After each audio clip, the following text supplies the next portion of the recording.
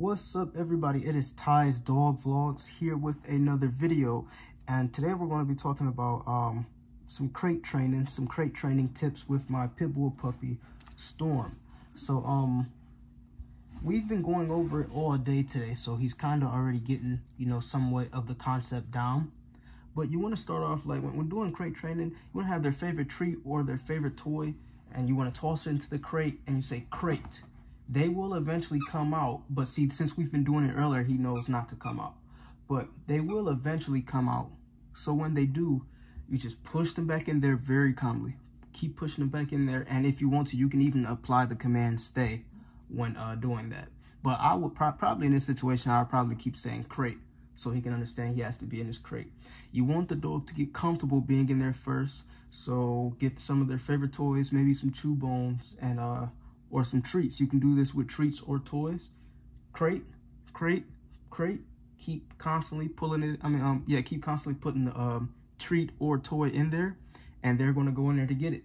And leave the door open. Let the dog get comfortable with the door open first. But since we started off like that earlier this morning, we're in the process to where we can do it with the door somewhat closed. So we're going to got them out. I'm going to show you guys what to do when you have the door closed. So right now, he, he really loves this toy. It's super squeaky. Scar. I mean, I called him Scar. Storm. Crate. So once he go in, just shut the door. And because we went over this already, he's more calm than what he was when we first started. So, like when we, for example, when we first started, he was clawing at the gate a little bit and biting on these things. And they're going to bite all over the cage, you know, especially when they're a puppy because they always teeth.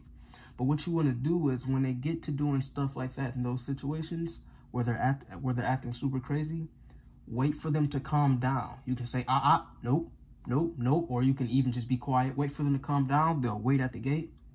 You open it up. Good boy, good boy. Because this is basically. This is basically showing the puppy that, okay, I'm going to come out of the crate when I'm eventually calm. And that's what you want. You want them to be able you want them to be able to sit in the crate calm without making all that crazy noise. Storm up, sit. Storm, sit. Ah. Storm, sit. Storm, sit. Okay, we're gonna throw the toy in there again.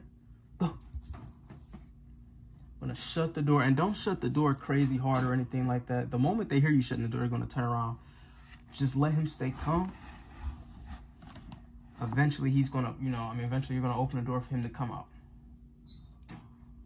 And anytime you get ready to open the door, don't open it if they get to jumping on the cage door.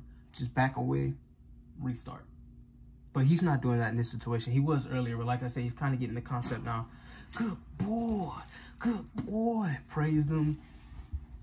I, and also do this with a leash. They might try to venture off other places. You know, training puppies with a leash makes life a lot easier. That I've noticed. Sit.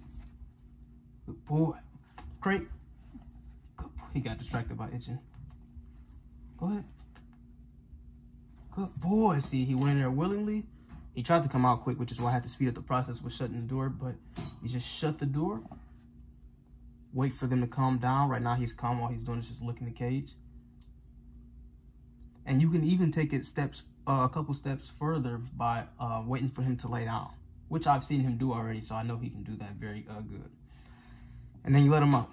So everybody knows crate training, good boy. Make sure you praise him. Make sure you praise him. Everybody knows the importance of crate training. It helps with potty training. It keeps your puppy in a secluded area if you cannot watch them at the moment. So that's why I decided to make this video. There's other ways to crate train a puppy, but this is one of the ways that I would definitely recommend. Take a treat or a toy, throw it in there, say crate every time, and start by, you know, leaving the door open and then closing it. Anyways, catch you guys later. Peace out.